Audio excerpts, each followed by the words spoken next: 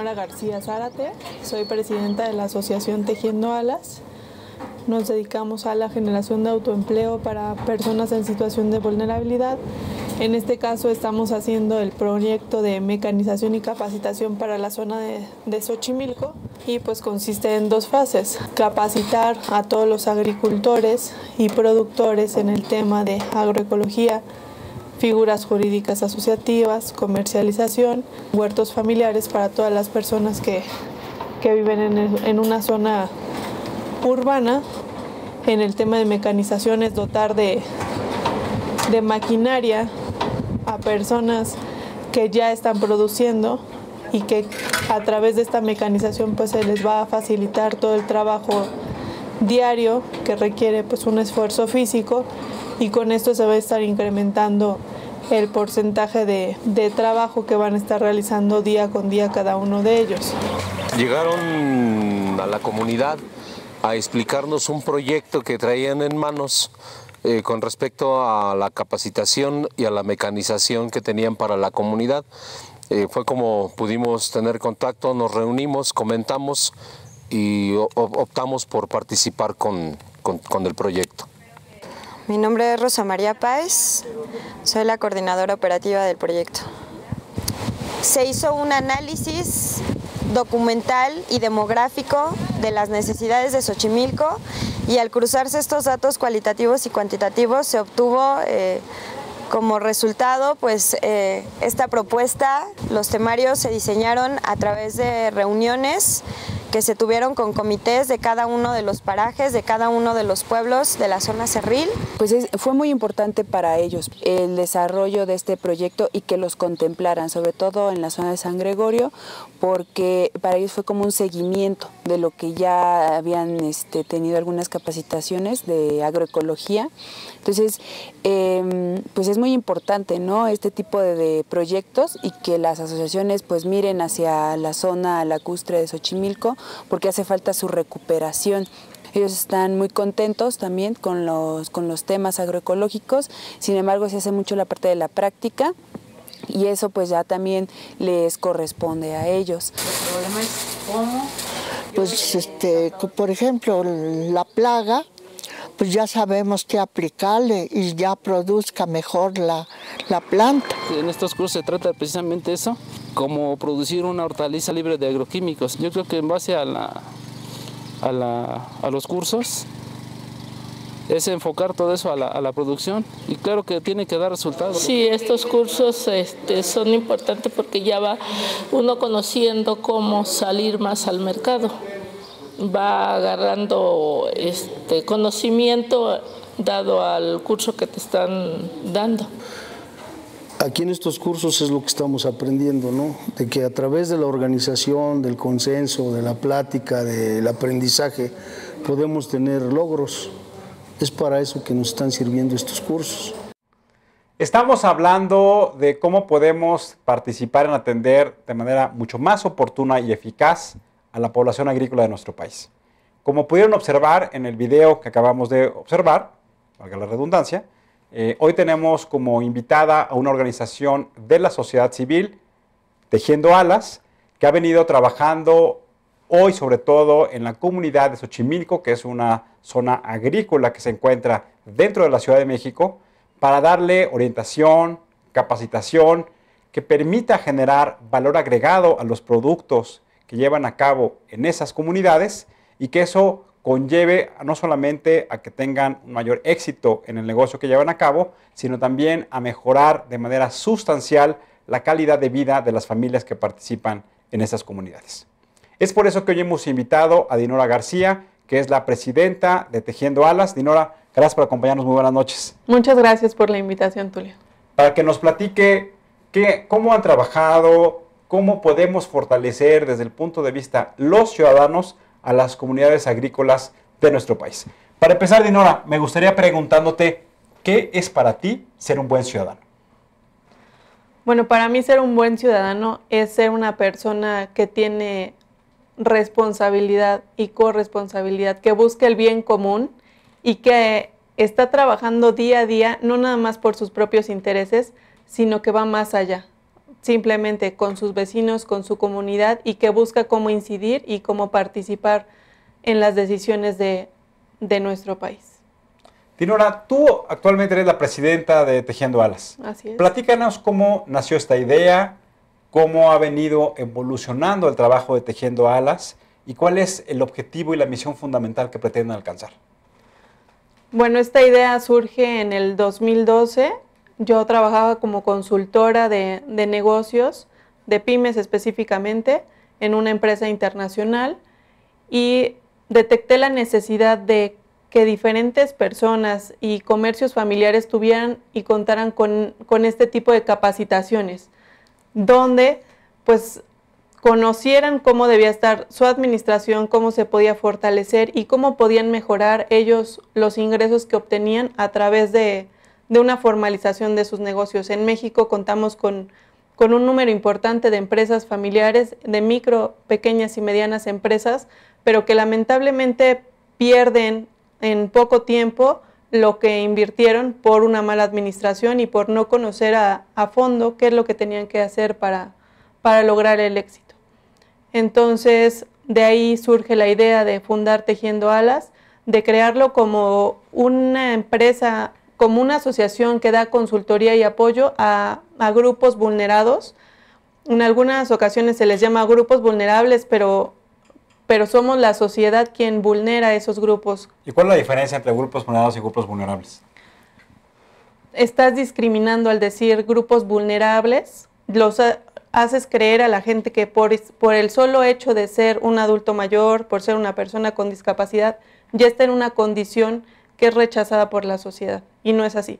Nosotros como mayoría podemos discriminar a ciertos grupos y al final todos podemos pertenecer a un grupo de vulnerable o vulnerado dentro de la sociedad. Por ejemplo, todos vamos a llegar, si, si bien nos va a hacer adultos mayores, entonces podremos tener ciertas necesidades por la condición que tenemos en cuanto a la edad. Hay personas que sufren de multidiscriminación porque son, son mujeres, son indígenas y son adultas mayores. Entonces esos son grupos vulnerados por la sociedad. ¿Y cómo ha venido evolucionando el trabajo de Tejiendo Alas? Empezamos con, con proyectos, bueno, toda, todo Tejiendo Alas tiene que ver con generación de proyectos para autoempleo.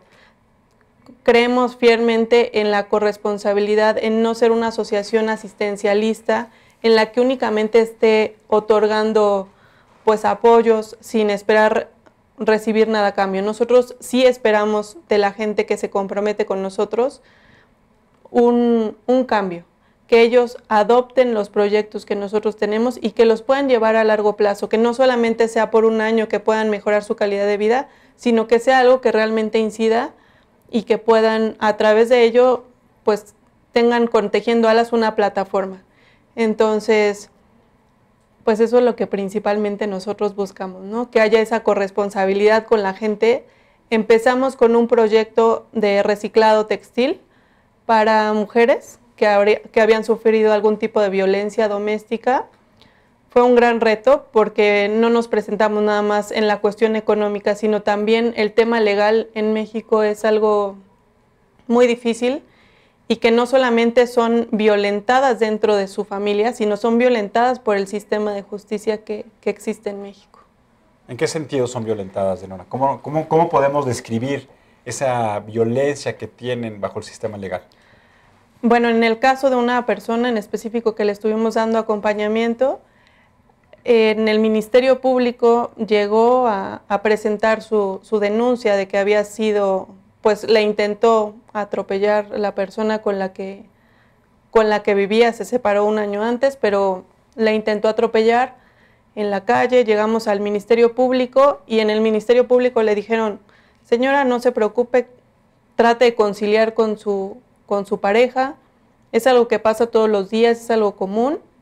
La sentaron en, el, en, el, mismo lugar y pues al tener una, una comunicación ya totalmente rota con esa persona y al sentirse pues vulnerable frente a él, eso era lo último que tenían que haber hecho, porque ya no era una situación que se pudiera arreglar. Entonces, nos comentó el Ministerio Público que no era el único caso, que más o menos son 150 casos los que le llegan al día y que pues era un tema menor, porque finalmente ella después iba a tomar la decisión de regresar con él.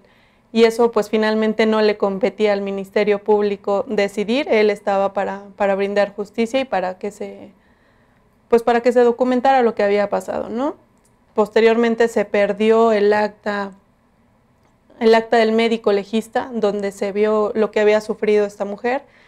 Y, bueno, el proceso aún no, no concluye, tiene, él todavía comparte la patria potestad después de haber intentado matar a la, a la mujer. Entonces, pues esa es la violencia que se sufre, ¿no? Está pagando abogados, es un sistema bastante complejo el que, el que tienen que, por el que, el proceso por el que tienen que pasar estas mujeres. Tirona, retomando el tema de la conversación del día de hoy. Ustedes, como pudimos ver en el video, están trabajando con una comunidad o con varias comunidades agrícolas en la Ciudad de México, Xochimilco sobre todo, en donde lo que pretenden es incrementar la capacidad de producción de estas comunidades, pero también darle valor agregado. Primero nos gustaría que nos platicaras cómo ha sido la experiencia que tiene Tejiendo Alas trabajando con los productores agrícolas de nuestro país. Mm, pues ha sido una experiencia enriquecedora ya que pues a lo lejos podemos ver una situación en la que el campo es importante, como lo veíamos en, las entrevistas que, nos presentaron hace unos minutos, todo el mundo habla de, apoyar al campo, de que tengan más apoyos del gobierno, pero no nos damos cuenta de las pequeñas acciones que nosotros como ciudadanos podemos hacer. Y quizá ahorita retome tu pregunta del buen ciudadano. Un buen ciudadano para mí también consume lo, lo local, consume lo que se produce en su comunidad y apoya el desarrollo de estos pequeños productores. Da un precio, paga un precio justo. Nos damos cuenta muchas veces que en México estamos acostumbrados a regatear, a ofertar, y eso no lo hacemos en un centro comercial, ¿no? Entonces, sí es preocupante cuando vemos a, a personas que quieren pagar menos y no se dan cuenta del gran trabajo que realizan estos productores, estos agricultores para poder tener una cosecha. Están pues en contra del clima, que es algo que no pueden controlar y, pues esto puede afectar sus cosechas, ¿no? Entonces, nosotros empezamos este proyecto trabajando directamente en Xochimilco. Poca gente conoce que existe una, una zona agrícola dentro del Distrito Federal, puede ser muy difícil de que se considere, pero existe y existe no nada más, se considera Xochimilco como una parte turística, donde van pues a las trajineras, se conoce que existe un, vivero muy importante, pero no conocemos que hay una zona agrícola muy importante y que es de vital importancia en, en materia ambiental para el Distrito Federal. ¿Y cuál ha sido el trabajo que han realizado ustedes con los productores agrícolas? Platícale a nuestros amigos con una manera muy sencilla, de manera muy descriptiva, qué es lo que han hecho ustedes con estas comunidades agrícolas. Inicialmente hicimos un diagnóstico para evaluar cómo estaban las diferentes comunidades, ya que no todas están en el mismo, no tienen la misma base. Algunas ya habían recibido algún tipo de capacitación en temas de agroecología, otras en materia de comercialización. Entonces, identificamos las necesidades de la población para después poder hacer una propuesta en cuanto a capacitación.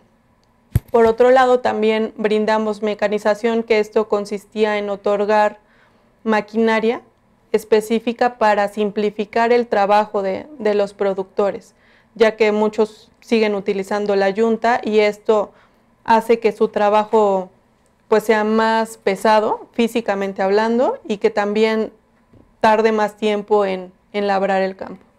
Entonces tuvimos esos dos componentes, por un lado mecanización y por el otro lado capacitación. Nos dedicamos también no solo a la zona rural, sino también a la zona urbana. Eh, el proyecto fue un, proyecto de alto impacto para esa zona. El apoyo de los productores fue muy bueno. Nos recibieron pues con cierto escepticismo, como, como ocurre algunas veces, de qué va a pasar, cuáles son los fines, ustedes quiénes son y, cuál es el interés de Tejiendo Alas de, tener un proyecto directamente con, con los agricultores. Entonces, identificamos que ya existen líderes, que ya hay pues ya hay una organización con los productores y que esto facilita el trabajo. Sin embargo, los productores no estaban agrupados como la zona de Xochimilco, la zona agrícola de Xochimilco, sino estaban por pueblos. Algunos eran los parajes, otros eran de la zona cerril y otros de la zona lacustre. Entonces, una aportación que tuvo Tejiendo Alas en este proyecto es generar una comunicación entre ellos y darnos cuenta que es un ecosistema donde lo que pasa en la zona cerril puede afectar a la zona lacustre. Hablando simplemente del tema del, agua, si se contamina en la parte cerril, esa agua se vierte por, diferentes ríos o, o por la misma tierra y contamina a la zona lacustre. Entonces, cosas tan pequeñas se pueden ir identificando y ellos se dieron cuenta que si trabajan en equipo, pues pueden lograr mucho más, que sean escuchados por el gobierno, pero también que ellos cuenten con más apoyos para, para lograr sus propósitos comunes. Si tuvieras que tomar una fotografía y la compararas de cómo estaban los productores agrícolas, ya sé que ya nos mencionaste ahorita de la intercomunicación y la interrelación entre los diferentes pueblos que integran estas comunidades, pero si tuvieras que tomar una fotografía de cómo estaban antes y cómo están hoy, ¿qué podrías decirnos acerca de eso? Bueno, no tiene, tiene un año que empezamos el proyecto, lo empezamos en diciembre del 2014. Quizás sería muy precipitado decirte de algún resultado de alto impacto, pero sí puedo identificar varias cosas. Una, ellos se dieron cuenta que, que los impuestos que ellos pagan son lo que genera proyectos, porque al final los recursos que se otorgan para el campo son de lo mismo que generan ellos. Entonces, esa identificación de que no se tienen que esperar a que alguien dé una dádiva tratando de ser bondadoso en una campaña política, es un gran logro, porque ya ellos están en un nivel de, exigencia y de rendición de cuentas que también se dieron cuenta y eso es algo muy importante, porque muchas veces estaban acostumbrados a que les prometían un tractor a cada una de las comunidades y llegaba el tractor y ese tractor paseaba por una, dos, tres comunidades para la fotografía que se tenían que tomar y no regresaban. Entonces ya les habían pedido documentos, ya les habían pedido ciertas cosas y el beneficio no llegaba. Entonces también esa confianza que tienen ahora con Tejiendo Alas, creo que es algo pues invaluable, porque lo que les llegamos, no les llegamos a prometer, les llegamos a decir que queríamos trabajar con ellos y que quienes cumplían ciertos requisitos pues iban a estar totalmente bienvenidos. ¿no? Entonces creo que esa confianza, pero también ese empoderamiento de quiénes son ellos y lo que pueden lograr, es algo, fue algo muy bueno. También el tema del medio ambiente. Ellos saben que, que Xochimilco es parte importante para la capital. Si no existiera ese humedal de Xochimilco, el, la temperatura de, de la Ciudad de México incrementaría en 2 grados centígrados. Entonces, sí es un tema bastante importante y, creo que también pues el tema político juega una parte importante en esto, porque si desaparece esa zona, van a empezar a haber construcciones, algún desarrollo de inmobiliario. inmobiliario que puede ser benéfico, pero pues tampoco hay una salida para, para Xochimilco, solamente está el periférico, que sería un caos total generar pues una zona de desarrollo en, en Xochimilco, pero por otro lado la afectación que tendríamos sería muy alta. El costo que estaríamos pagando en cuanto a medio ambiente sería muy alto. Entonces, por eso es muy importante mantener a los productores, pero sobre todo activar las zonas que se pueden activar en Xochimilco. Veíamos también en el video que aquí pusimos nada más un extracto, porque es un video muy largo que documenta el trabajo que han venido realizando, que no solamente están trabajando con las comunidades para reactivar la actividad productiva en el campo, sino también para poder transformar y generar esa transferencia de conocimiento a ciudadanos como tú, como yo, como los que nos ven, para que se genere una cultura de huertos urbanos y que eso también contribuya al autoconsumo, al comercio justo, a lo que sería la producción de alimentos orgánicos. ¿Qué nos puedes platicar respecto al trabajo de Tejiendo Alas con respecto a la generación de huertos urbanos? Ok, la parte de huertos urbanos es una parte muy, muy amigable, que fue muy bonito llegar pues con la gente que, que no tiene un terreno, un espacio para, para producir como los agricultores, pero que también tenía una necesidad latente, que era tener alimentos en un bajo costo y que fueran saludables. Muchas veces las personas que tienen menos recursos son las que se alimentan peor y las que destinan el poco recurso que tienen para comprar productos, ya sea una Coca-Cola, sabritas o cualquier tipo de alimento chatarra que, nos va afectando muchísimo, ¿no? Entonces, este proyecto en cuanto a huertos urbanos y familiares tuvo un impacto directamente en jefas y jefes de familia. Nos dimos cuenta que también hay hombres que se encargan de sus hijos que también son jefes de familia que están solos y que tenían esa necesidad, por eso los incluimos. No lo hicimos nada más para, para mujeres, sino también tuvimos esa, esa visión incluyente. Entregamos 64 macetas para cada una de estas familias. Estas macetas contenían diferentes tipos de hortalizas. Ahorita ya, pues algunos nos están enseñando sus fotografías que ya tienen betabeles, que ya tienen jitomates. Entonces, todo eso lo utilizan para su consumo diario y con eso tienen un beneficio económico, pero también tienen un beneficio en salud. Una, estuvimos hace poco reunidos con personas que se dedican a ver el futuro de las ciudades en el mundo y una de las características que están planteando es que se tienen que desarrollar en las construcciones verticales, es decir, en los edificios, que haya huertos urbanos y que esto contribuya al autoconsumo. Entonces quiere decir que no solamente en las zonas agrícolas, sino también en las zonas urbanas de las grandes metrópolis de todo el mundo, se tenga considerado un espacio como los balcones, que en lugar de ser unas zonas en donde son estéticamente muy bonitos, pero que en términos de utilidad y en términos de ocupación es completamente marginal, que ahí las personas pueden llevar a cabo sus huertos urbanos, entonces puedan generar las manzanas que llevan sus hijos a la escuela, la lechuga que comen en la ensalada durante la comida o durante la cena, y entonces que eso contribuya a mejorar el autoconsumo. Me gustaría también preguntarte, porque creo que uno, de cuando platicábamos con Alfonso en la sección previa a tu entrevista, platicábamos de que la intermediación es uno de los factores que le pega directamente a las familias de los productores agrícolas. En este proceso de intervención que hicieron en Xochimilco, ¿cómo trabajaron con ellos para eliminar o al menos mejorar la capacidad de negociación de los productores agrícolas con los intermediarios?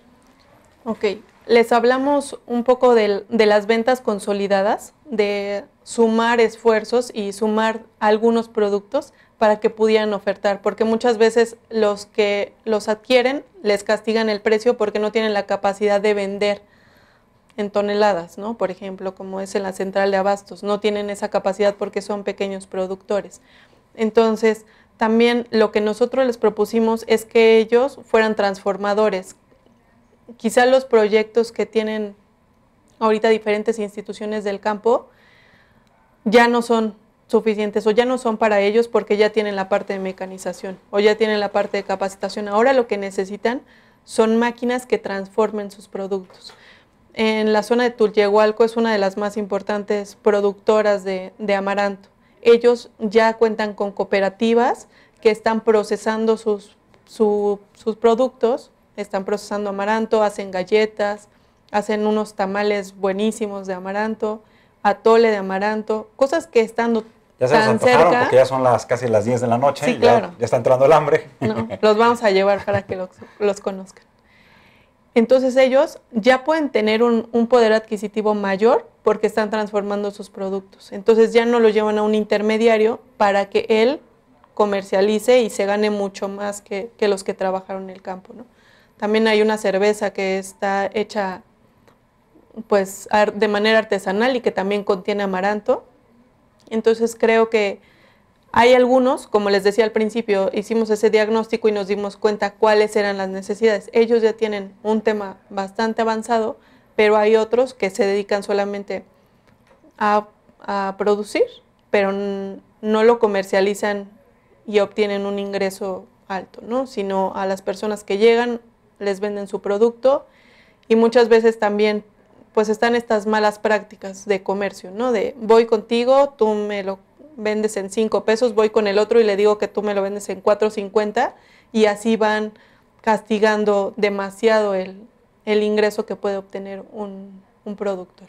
Finora, en los proyectos en los que has participado como sociedad civil, te conocemos que has participado en otros proyectos, siempre has hablado tú de que las intervenciones que se hagan a través de la sociedad civil organizada, es decir, a través de las organizaciones de la sociedad civil, también generen este sentimiento de confianza que ya nos platicaste ahorita, pero también de corresponsabilidad por parte de las personas que están participando en los proyectos como sujetos de la intervención.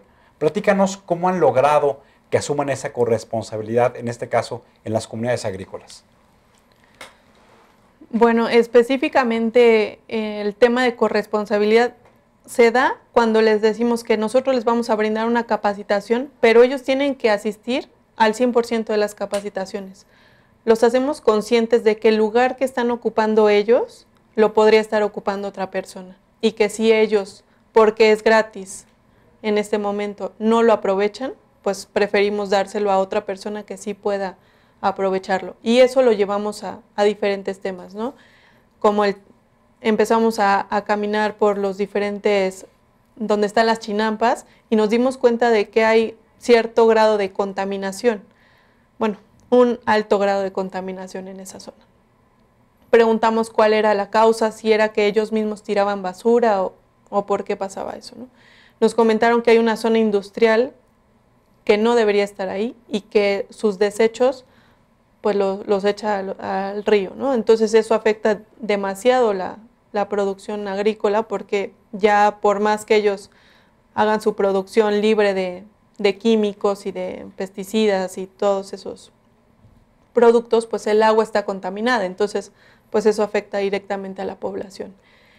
Lo que platicamos con ellos del tema de corresponsabilidad era que se unieran y que generaran pues algún tipo de, de trabajo con la delegación para que se hiciera responsable de esas acciones por parte de las industrias que están establecidas en esa zona.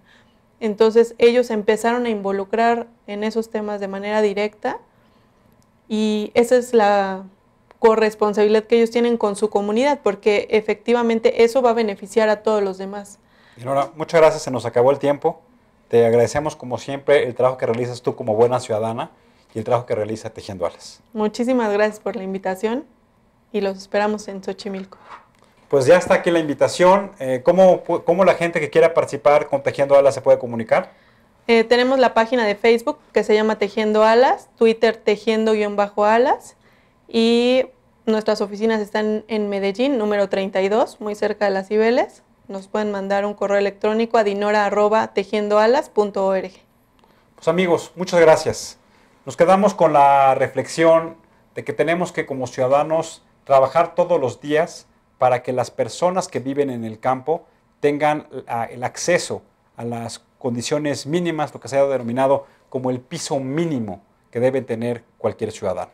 Y trabajos como Tejiendo Alas, en donde conllevan a que fortalezcan la capacidad productiva de las comunidades, a generar confianza, a tener la capacidad de darle una forma distinta a los productos, en donde los campesinos tengan la capacidad de saber cómo ponerle un precio justo a sus productos, es parte de esa transformación que tiene que vivir el campo mexicano.